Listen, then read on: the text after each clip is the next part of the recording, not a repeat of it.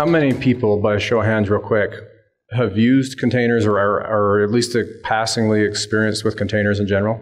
Good. How many of you have heard of the term ABAC, Attribute Based Access Control?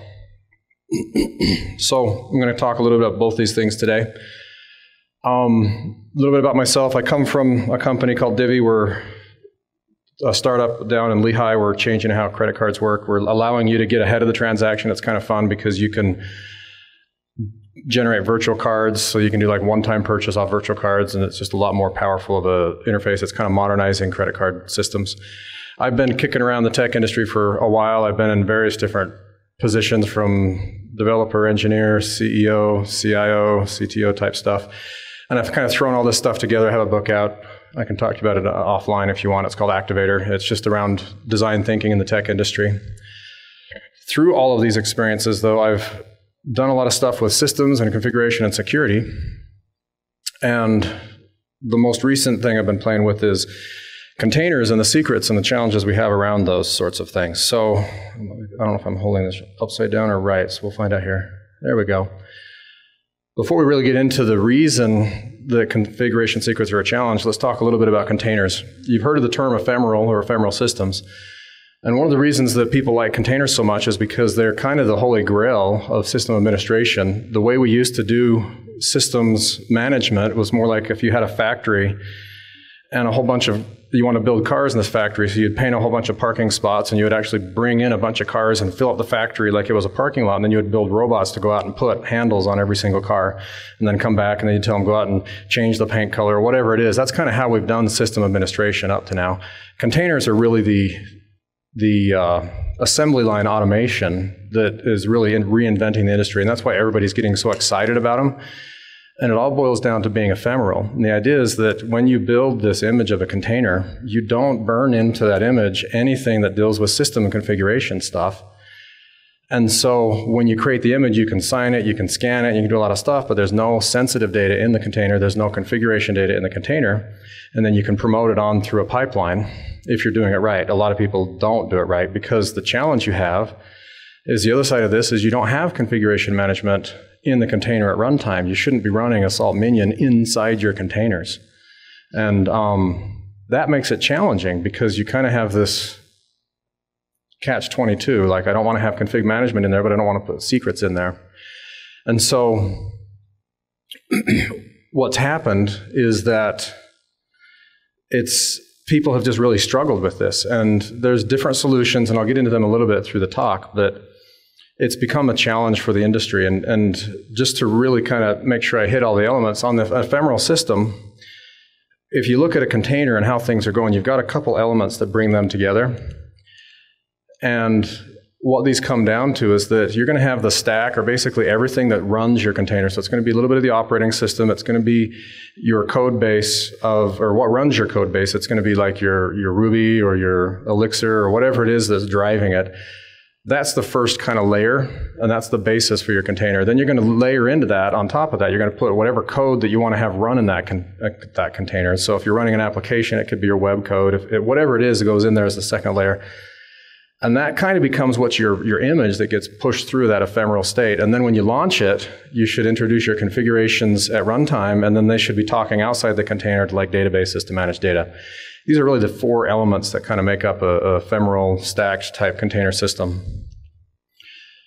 But the problem we're having is just like I was saying, getting those configurations in at that last time is a real challenge. And so it's all about where do we put those configurations.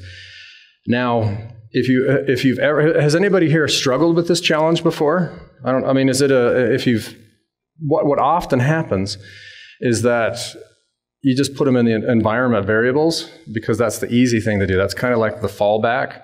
But it's a really dangerous thing to do because those environment variables, however they're actually stored, if you're using Kubernetes, if you're using just standard Docker, if you're using whatever it is, getting those delivered is not necessarily an easy thing. And so they've, they've, they've improved on it. And we'll talk about some of the things that are there. But some of the places you can put it is you could just burn it right into the image, but then you run into problems where you've got secret data stored in this offsite or wherever the repository happens to be for your container.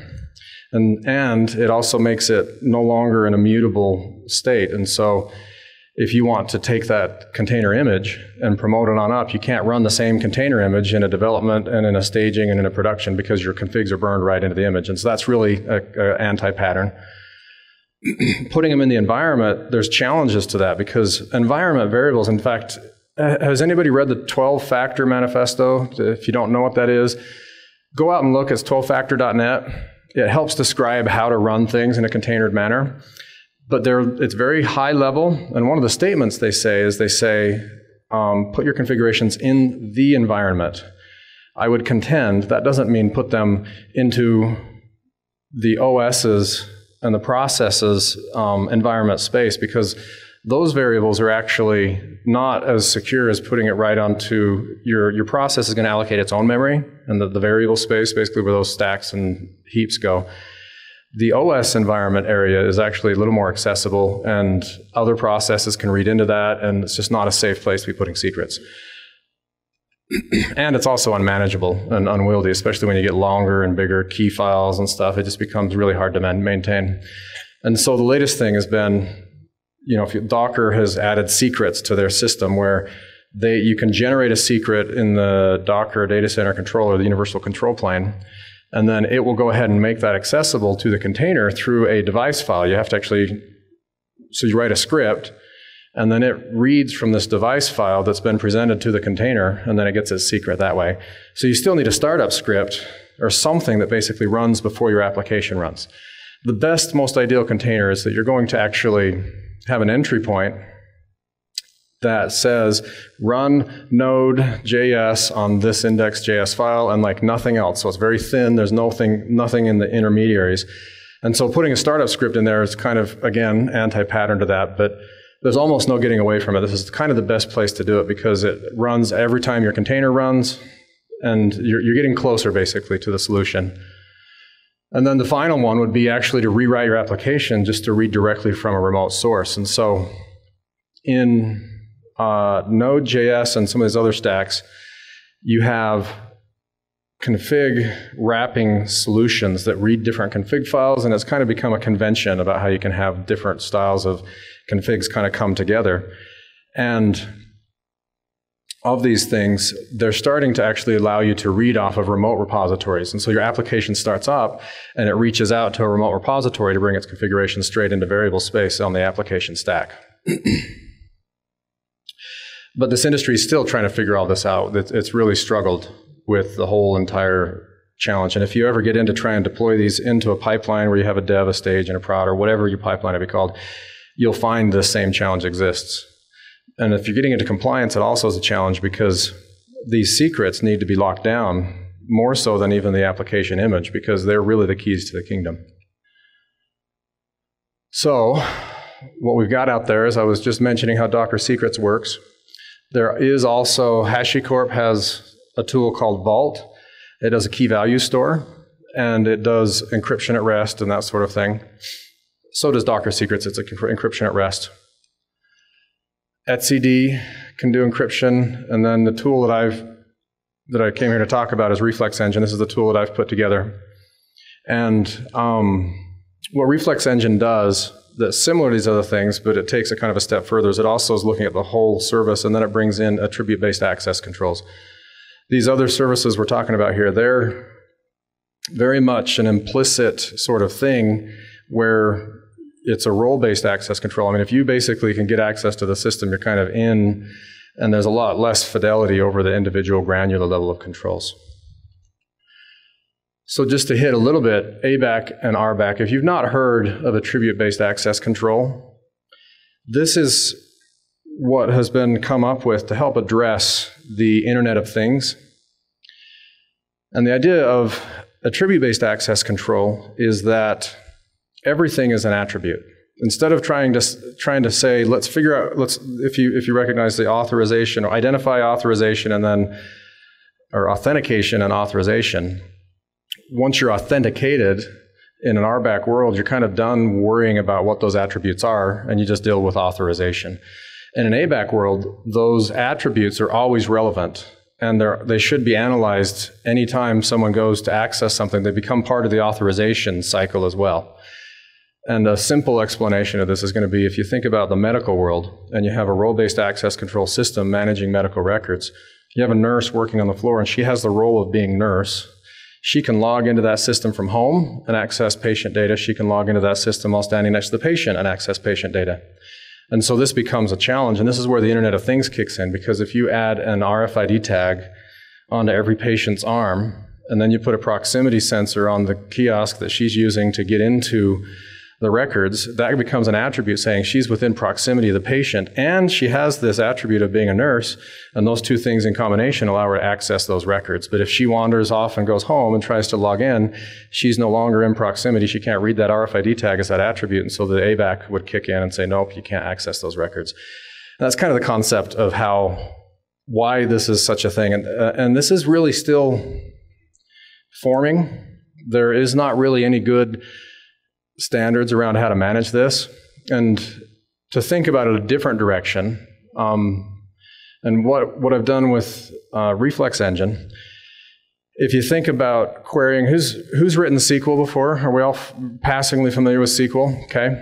When you get access to a database, a SQL database, you're going to authorize and authenticate to that database, and then it's going to say, okay, I know who you are. Once you have that access, if you go to query a table, it doesn't say, you know, per row, I'm going to decide what attributes you may or may not be able to see. You get access to the whole table. Now you can do grants. Uh, you can grant like write access or read access, but you can't say, I want this person to be able to read these five rows, but not the other 20 rows. Like you can't do that. With the ABAC that we've got in Reflex, there's Boolean logic that takes into account all of the attributes they've come to Reflex with. And so it's looking at the IP addresses they're coming in, it's looking at any certificates they might have come in with, their API keys, any sign in that exists.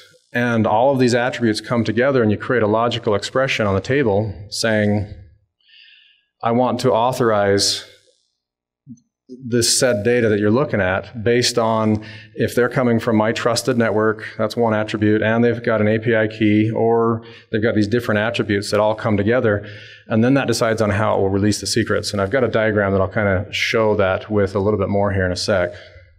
the key, though, with ABAC is that everything is an attribute.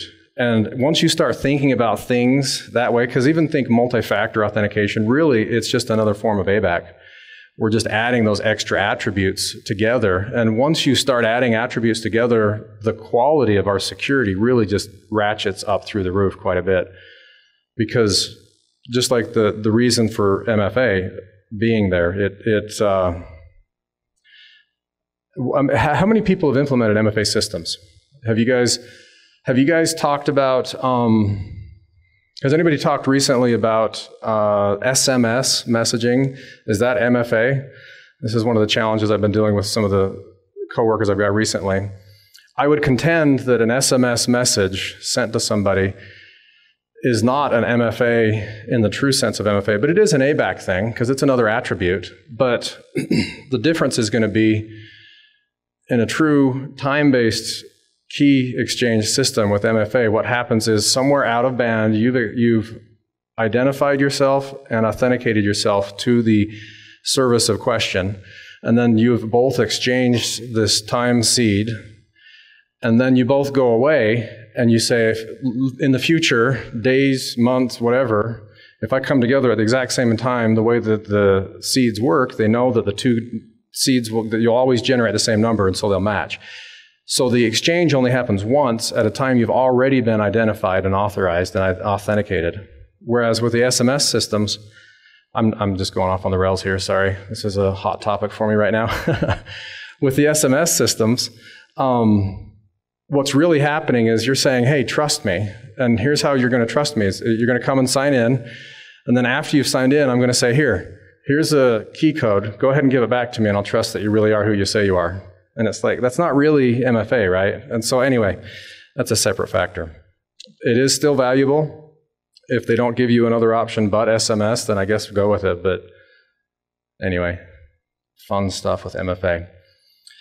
The other thing is that all these vaults that you create in the Internet of Things, everything's becoming more and more online, which makes things real challenging because if you have a build system that wants to do something and maybe it needs to pull down a key to sign stuff with and, and, and, verify that all my data in my image has been signed properly and then it wants to put that back somewhere, like you still need to have a place to have all of your sensitive data.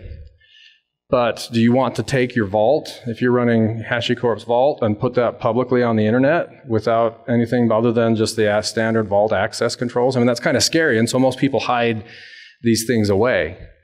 And if you get back to what ABAC means, the, really you should be able to take and just expose the whole thing out to the internet and just say, I'm going to rely upon all these attributes coming together properly to secure that system. So, just to kind of walk through how this could be, if you've got a configuration here, so I've got a secret. It does work. I've got a secret back here, and I've got it behind an ABAC policy, and this policy says something to this effect that basically says I've got an API key that's in my list of servers, and so I'm going to go through and define a, a set of servers that I know I can trust, and I'm going to give them an API key. And it, so this is going to be a pre-generated, like a JWT, basically, and we're going to give it out to somebody or out to a, a service stack. And then I'm going to say, I know that if they're coming from a 10.0 subnet, like that's my internal private subnet, and so I'm going to give that a little bit of credibility and trust in combination with the API key. And then on top of that, I'm going to actually pull the certificate ID off the SSL session, and so I'm going to do client-side certificates. And I'm going to assign out a certificate. And so if those three things come together, then I'm going to go ahead and trust that I should be able to give this set of secrets out to that, that whoever's requesting it and go ahead and do it. Or, you know, it's a Boolean expression. Maybe I'm going to go ahead and pull a user ID. So I've taken a login session and I, I, just trust the user ID by the time it gets to this level of the evaluation that the authentication's worked or it just wouldn't be there. And so that user ID is listed as one of the admins and the IP address is actually my VPN address. And so I'm delegating a little bit of trust there by saying that my VPN is already doing MFA. And so if they come in with a legitimate ID and they're coming off my VPN host, you know, and, and this gives you some control over that. You could also add in a policy that says, you know, I know that this block of internet addresses, it's kind of like a firewall almost. You say, I, I know this block of internet addresses, I'm going to whitelist it and say, these are my build services from some SaaS provider and combine that with an API key or something, you know, to allow the scripting to work. And so it gives you a lot more control and power over those sorts of things. Some of these things you still can delegate up channel. You can have your firewalls doing some of these if you want multiple layers of security. It's not like a limitation. But the cool thing with this is you get to apply these policies at the row level. And so you describe how you want your secrets to look, and then you can have it be kind of selective about it. So you could have all of all of your secrets in one database, and you can set up different teams of people and different services, and depending where they're coming from, they can access those things. So I think it goes through some of this. so Reflex Engine, it's an open source project I put together. Um, it is in its infancy. I'll be honest. I've been. This is. It's running a couple production sites that I've worked on. But being open source, you know, we iterate and make things improve them a little bit over time.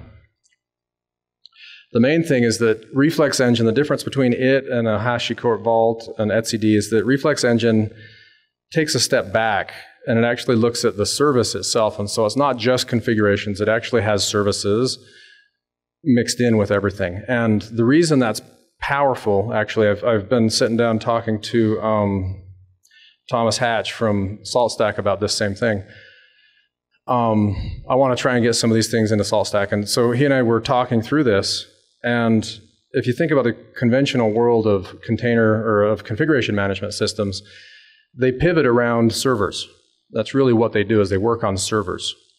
And they have a really they really struggle when it comes to containers because they're the robot in that factory that I talked about earlier. So you've got this factory with the cars and it's running around. You, have this corral of robots that goes out, and they're really good about putting the doorknob on all the cars and then coming back and taking more instructions and going out. But like, we don't do that in the real world because that's actually highly inefficient. And we do assembly lines. And what's happening is, in order to do that, the configuration management systems need to stop thinking about servers And they need to start thinking about services. I have a group, a service that I'm addressing. And so when I was talking to Thomas, it was it was a really fun conversation because you know the first impulse that most people from the config world have is they say, let's put Salt Minion on every one of the hosts that runs my container stack. Think of these as hypervisors if you're in the virtualization world. And then from there, it can reach inside the container and do stuff, you know, and there's like this little box with a question mark of what stuff would be, you know. And we had to go around a couple times to explain that that's kind of an anti-pattern.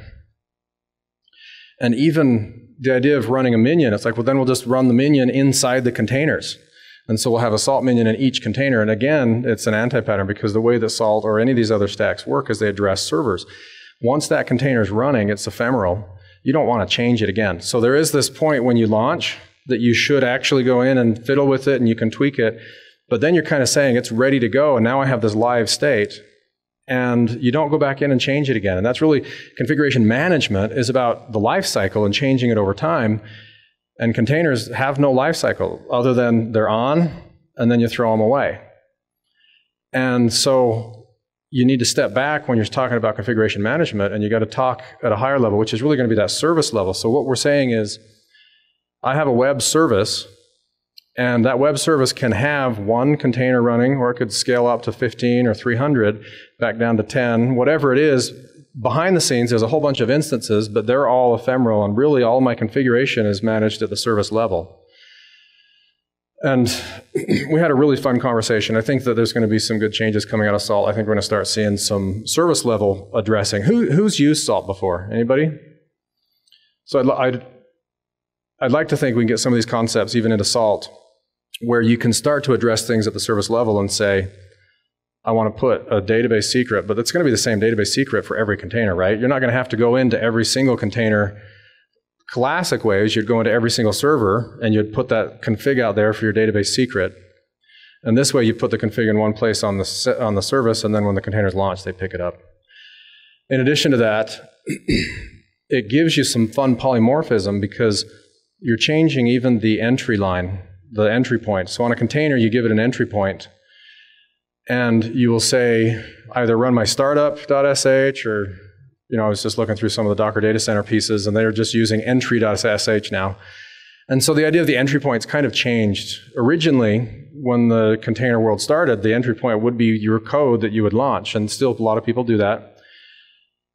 And it's changing now. So with Reflex Engine, it, it, we've got a launch command and the launch command, you basically say, my entry point is going to be launch. And that's about all you got to say. And you put three environment variables on the container and nothing else. One of those variables says where the reflex system is at. It's a REST API. The other variable is an API key. And then the third variable is going to be the name of the service in Reflex. And so when you run launch, it goes out and it finds that service, and then that service gives it its identity, assuming that the image itself has what it needs to run. And the fun thing about that is if you have a Node application and you've got it's running web services, you might launch it a certain way that fires off node index.js for general web processing. But if you have a job that has to run once a day and just do a little bit of batch processing and you want to just bind that into the same code base because you don't want to create a whole entire new image and have a whole new node modules and all the dependencies because it's really the same thing, it just needs to run this batch. You can take that same image and just give it a different service name, and that different service name now says, instead of running node index.js, it says run node batch.js. And so it gives you that kind of polymorphism without even having to go in and hack on the container. You don't have to change your shell scripts anymore, and it, it lets you do all that at the a little more flexibly. It's also because it's a REST-based interface, it's addressing the concepts of infrastructure as code. Have you guys heard that? I'm sure that term's been bandied around a little bit. Um, I think it's a hard term for some people to grasp because automation is not necessarily infrastructure as code and I've I've kind of been the rounds with a few people on this. Um, a lot of the configuration systems that are out there, most people say, "Hey, I'm going to go ahead and put all of my Puppet configs into GitHub because then they're versioned and they're stored."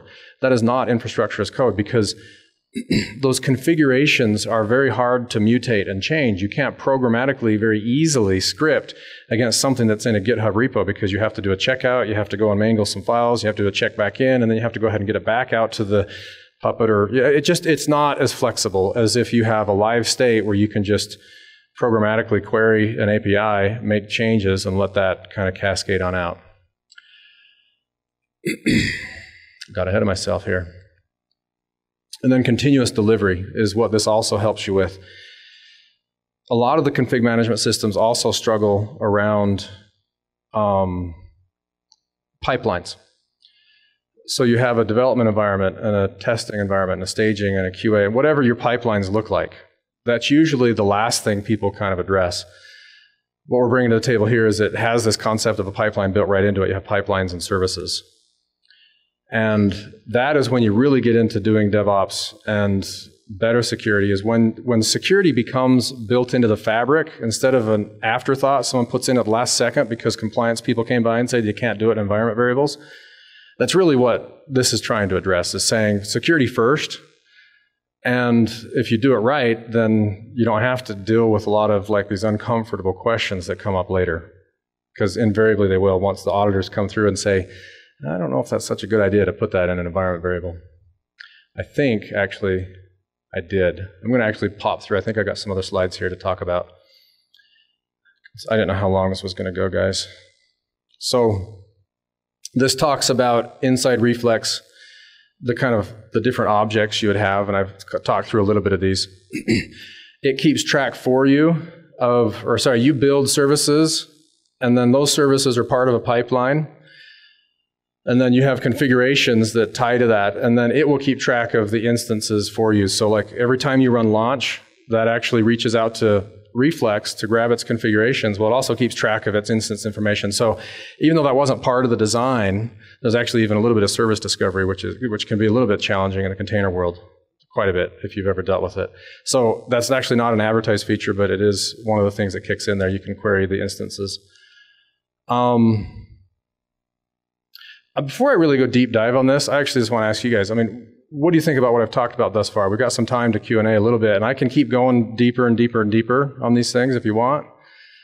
Attribute-based access control, uh, what are your thoughts on that? Any questions on ABAC?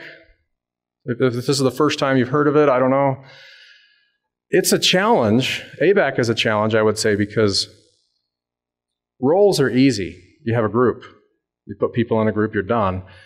ABAC is, is Boolean logic, and how you get that associated can be challenging. Um, what about container secrets? Have you guys, what kind of war stories? Does anybody have any war stories with trying to deal with secrets in containers?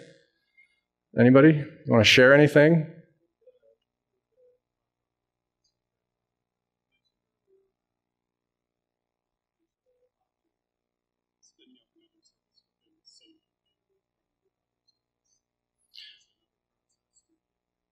Yeah.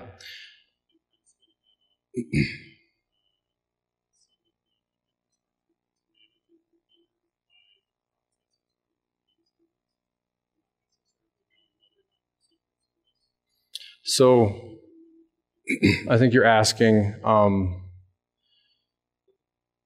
I'm trying to rephrase what you're saying for everybody's sake. So you were asking the idea of saying that the launch script will run other stuff and how does the services, like if you're running Kubernetes or Docker Data Center or one of these other ones, how do they keep track of that? Is that what you're asking? so it is still following the principle of one to one. And so when launch runs, the polymorphism is only for the current state. It won't create another one. It actually runs an exec and it disappears from the picture after the service runs. And so the stack is actually that Docker spins up a new container, which is just a process, and the I'm actually wondering if I should pull. I got another presentation on Docker that explains the layers of Docker. But so it fires up another process, and that process then is it, this is right now it's in Python, and so it runs the Python binary. The Python binary runs launch, and launches the script. The script goes out, reaches out, pulls in the secrets. Now this is actually the other kind of fun thing about this is because it's at runtime, it's not in the container's environment. And so if you actually, you can attach to a container out of band and you can get a shell. there's actually no secrets that show up there if you do it that direction, which is another nice thing about this. So anyway, the process runs. It goes out, grabs the secrets, brings them into the space, and then after it's configured and done all the secrets the way that however you want, and it has inheritance, it has a lot. You can write files, you can dump files, you can change macros, you can do a lot of stuff with it. Then it runs exec, and so the Python binary is dumped out of memory. All the reflex stuff is now gone from the equation, and now it's just your application after that. And so there, if you wanted, the polymorphism would actually come at the higher level, where you would go in, into your tool, if it's whatever tool it is, and you would buff, define a different binary, and you would just be able to reference the same image. That's the, the polymorphism is at the image level. And if you, and so, actually, I kind of want, I, I'm feeling like I kind of want to jump in and actually pull up another presentation on Docker. And I'm, I'm trying to resist that a little bit. Um, there, the, one of the biggest challenges, I wrote a blog post recently, one of the biggest challenges with containers is that there is so much, because they're so game changing, there's a ton of technologies out there. And so it's hard to just go in and get your toes wet. Like you kind of have to go into the deep end. And that's what has caused a lot of challenges with people is that it's hard to do the whole thing. And there's a lot of different technologies out there that are all trying to deal with a lot of these challenges. And so, like the service management side of things can be a challenge for sure. I think Amazon has put together a solution that's really painful, personally speaking. Um, Kubernetes is a great solution, but it's there's a lot of open source to it, and so it's a lot less. Uh, it, it's not as polished, right? Um, Docker is working on the solution that theirs has a lot of polish, but it's a little bit unstable. There's a lot of peripheral systems out there. Nanobox.io has some local ties, if you've ever seen that one. Um, what are some of these other ones out there? You've got Rancher, you've got, uh, can't remember half these names. There's a bunch of other, there's a, there's a huge community of people that have built systems to try and manage containers. And I would say, don't go against those systems. Like, this is meant to be a a thin little layer that you can just insert into the middle of that without really disrupting the flow. Because I'm, I'm, not trying to solve everything, just trying to enhance it, hopefully. So I don't know if that answered your question or.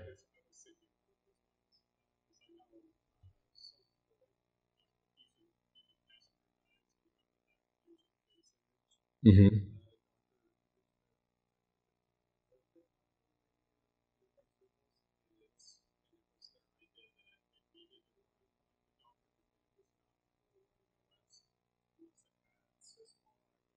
Oh. And that's an anti-pattern. So the, the, the statement is the fusion image. You know, you don't have a good container unless you've got syslog and some of these other parts to it. And I would I would contend the opposite.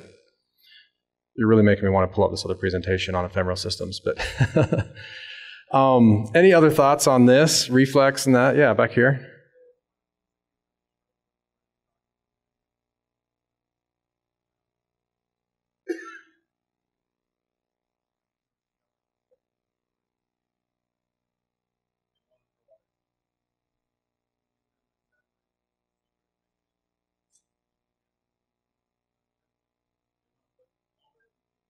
Yeah.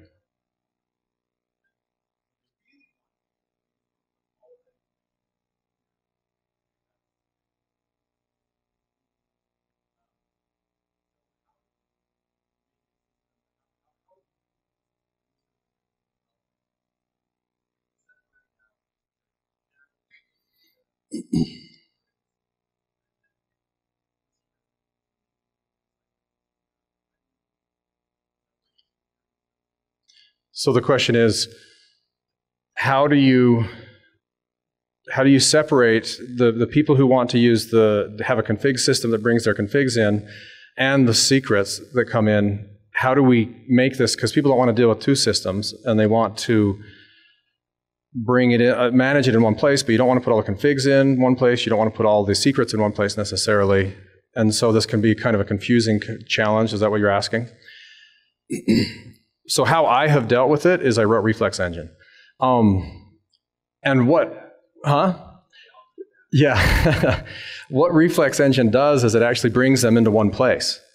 you don't need to have a config management system anymore because it's actually a really powerful configuration management system. It's all JSON objects, and you can do some inheritance. And I didn't go, I don't have any of the examples up here because I didn't know how deep we would want to go with this, and so I can talk to you out of band if you want. But it was easier, like that, that very challenge you talk about, how people don't want to use multiple systems. That's the problem with the container world, is like everybody has very niche solutions. And I was trying to balance out what is the niche I'm trying to fit with what's the most convenient, like usable use case around that. And so that's why I brought the configs in. It's like, rather than having configuration be separate, because now every single service that runs has to have kind of this confusing, complex init script I just brought it all together in one place and I pivoted it off the service level and it brings all of your configurations in. I've run monolithic Java applications with this where it goes out and it will dump in um, key, key store files. So we I was working with a service where we're interfacing with grants.gov and to every university would have to have a, a key. That's the authorization system that they use with grants.gov or these email PKI keys and every university has a unique key assigned to them that's been registered with them. And so every time they go to do a grants.gov transaction, they got to hand this over, and it's stored in a Java key store file. And so every container for each of these universities we were hosting would have to have a unique key store file, but I, you can't burn that in the image, right? You'd have hold 70 some odd images or key so we and we only wanted one key store we didn't want university of x's key store to be in university of y's you know because then accidentally send the wrong grant to the wrong place and so what we do is we've stored the key store right in the Reflex database. And it's a secret, but it's not the same as like a database password. And then when it runs, it goes ahead through the inheritance and all the different things that Reflex has, and it pulls just the, because the service would be named for University X, and it would launch up and, and would bring that one key store file right into the repository and write it out, along with all the properties files and whatever else is needed. And so, like with the properties files, I ended up just templating them. So the repository or the image that the Docker image that's created has a templated file that follows the variable substitution pattern. So it can be checked into GitHub and they can just see it because there's no secrets there. It's just a bunch of template match, you know, sequences. And then when it runs, Reflex is told, here is a template file, process it, and then spit it out in this location with all the secrets in it. And then Java goes ahead and reads it. I've actually done one more thing with Reflex because I don't even like writing configs to disk, uh, that alone, the whole ephemeral nature, I don't like that. And so Reflex will also do this config flattening because all of its configs are stored in a JSON format. And so you have this deep dictionary structure you can use and it will go ahead and bring all this together, flatten the inheritance hierarchy, and you can tell it just write it to standard in on my process. And so when your process starts, instead of looking for disk for something, it just reads standard in, it gets a JSON blob, and that's all its config data is there, and you can take off and run. So now you're not even bouncing secrets off disk if you wanted to use that option. It does require you change your app a little bit. Not all apps can handle that, of course, but um, any other thoughts? Yeah, in the back.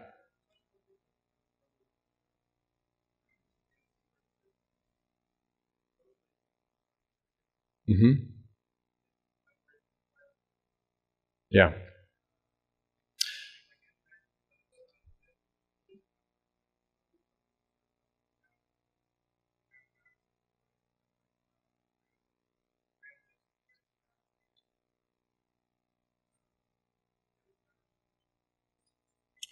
If you cannot change the application to read from like a standard in, I mean, standard in is the best I've come up with.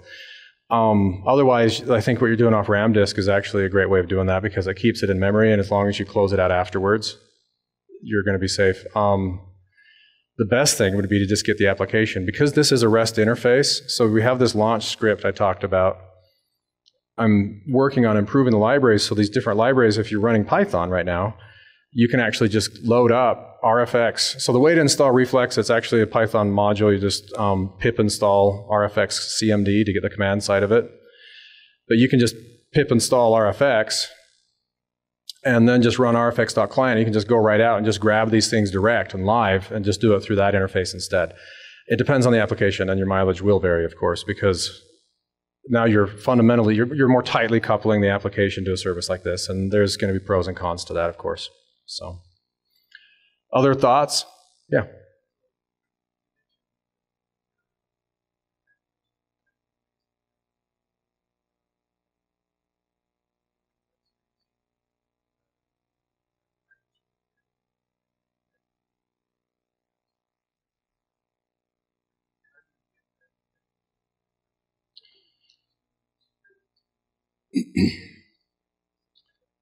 yeah, it is a chicken and egg thing. Well, so it's JOTs. Who's familiar with JSON Web Tokens? Some people. So JSON Web Token, it's a really cool construct. I think jot.org might be, no, jot.io, I think is where it's at, jwt.io. And so the API keys are JOTs. Now, I think a lot of the problem with an API key is that the general concept of an API key is not authentication, it's identification. It's saying, here, this is a key, and, and you're going, yep, that's a key. you don't really know for sure if the bearer of that really is who they should be. And that can be a challenge. And so the, the way that I've set it up, um, I would love to even, I have a ladder diagram of it somewhere. So what happens with JOTs is they have three parts. If you ever go look at a JOT, go to jot.io and look at it. They're broken into three parts, split by periods. And the first part is going to be a base 64. And I'm going deep because I figure we got a lot of people who like to go deep on some of this tech stuff. But there's three parts to it. The first part says this is the cryptography I'm using. Second part is here's my payload. And the third part is um, a signature. And what's neat about that is the cryptography says basically this is the type of signature, and you kind of put anything you want in the payload. And so the way that the API key works for Reflex is I don't, the API key itself is actually two parts. It's an identifier for the user and then a secret. And the secret never goes on the wire. What you do is you use that secret and it generates a JOT. It takes the JOT, hands it off to the, to the Reflex server. The Reflex server then actually creates a session secret that's exchanged in this process, and then it asks the client to keep using the session secret for all the rest of the JOTs until the session expires. But the long and short is to answer your question, you know, can you really trust the API key? You, you can't fully trust just an API key. You should do more, and I'm not sure if that's answering your question or not, but. Mm-hmm.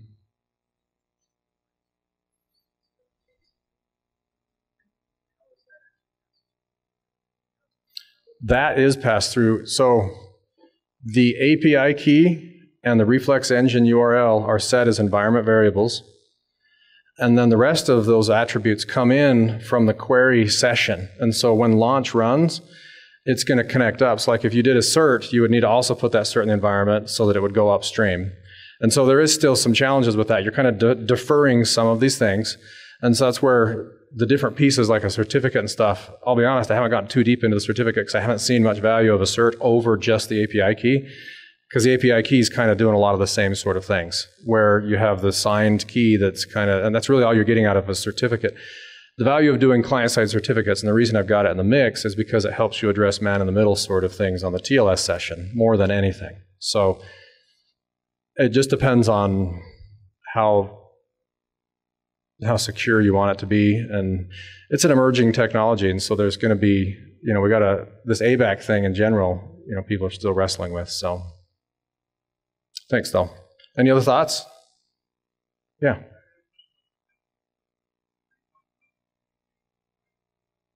Yeah. Client side certificates. Right. The client side certificate would be the TLS session certificate for the client instead of it being server sided only. I didn't catch that. Do I allow what? Pinned? P I N N E D. um, I haven't really got my head into the pinned stuff. I mean, I know they've been recommending pinned lately. I'm wrestling with it. Like, I understand the logic and the argument, but some part of my soul still says this doesn't feel right. And I, I can't say why, and so I've got to get my head into the pinned certificates more. Um, I mean, pinning a certificate really is just bypassing the third party delivery of the CA verification, if I'm wrong. Am I missing on that?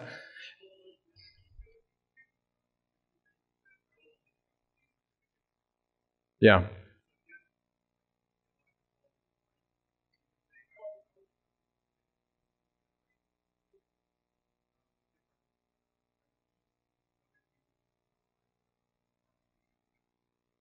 Yeah.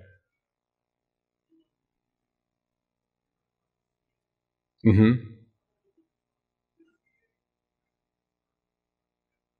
Yeah.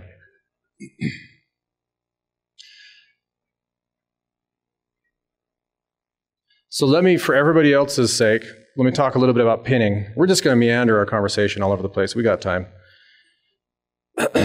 so who has who has heard of certificate pinning? Has that been discussed recently here? Okay, so a, a mix of people. I think that um, at a high level, the idea is that there's this great infrastructure of all these different CAs that are out there, and we've delegated trust that if we get a legitimate CA to sign it, that we're probably trusting whoever it is, and that that's all the onus of responsibility is only on the server side to get a good CA. And if someone registers anything they want with a good CA, like our app is going to trust it. And so pinning is basically saying somehow I got to scope down that trust. And I do it either by just embedding certificates in my app and only trusting the CAs that are embedded, or by scoping it to just a set of CAs I trust. And that helps address the man in the middle because the issue here is that people can put proxies in the middle of your session and they can you they you won't even necessarily notice it's happening because of the way that the TLS session works. Your client will go out and connect up like some of these public Wi-Fi's can do this easily and they'll intercept it and they'll actually pretend to be the server and they'll have a signed certificate from somewhere that lets them do this and your client just trusts it. They decrypt the session, they look at all your payload, they turn around, re-encrypt it, and connect it out to wherever you want it, and then send it back to you through. And you don't necessarily, you can't even detect this has happened in some cases. And so, client-side certificates, I believe, can also address that problem because the ah, I can't remember how that would work though. I'm spacing off. I need to get launch time here. So pinning is something I've been meaning to investigate further. I haven't really spent too much time on it, to be honest. Uh, the idea of the CA being a trusted thing, I mean, yeah. I, will have to look into that more. So, other questions, thoughts? Do you guys want me to do any more deep diving on reflex in general? Or if you want, maybe I'll just go ahead and uh, wrap it up and come talk to me privately and I can actually show you some real live examples. If that works? And if you guys have any questions, actually, the other one, um, I love my book. um, I just got it. We just released it two month, two weeks ago, and so it's up on Amazon. And uh, yeah, thanks a lot, everybody, for coming. And if you have any questions, come on up and talk to me. And feel free to link up with me on LinkedIn and keep the dialogue going. And if anybody wants to help with the Reflex project, feel free to reach out to me and talk to me as well. So thanks a lot.